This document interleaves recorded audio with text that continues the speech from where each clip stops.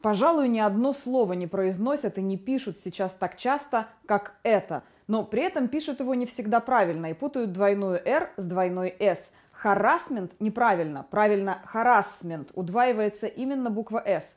Кстати, использовать это слово в русских текстах можно без всяких колебаний. Оно уже давно попало в академические словари русского языка. Там харасмент трактуется как сексуальное домогательство на работе, обычно со стороны начальника по отношению к подчиненной или к подчиненному. Можно ли заменить американский харасмент русским домогательством? Все-таки нет, хоть во многом они и синонимичны. Во-первых, харасмент – это еще и юридический термин, который означает нарушение неприкосновенности частной жизни. Во-вторых, в свете последних событий это слово стало фактически интернациональным, понятным носителем многих языков.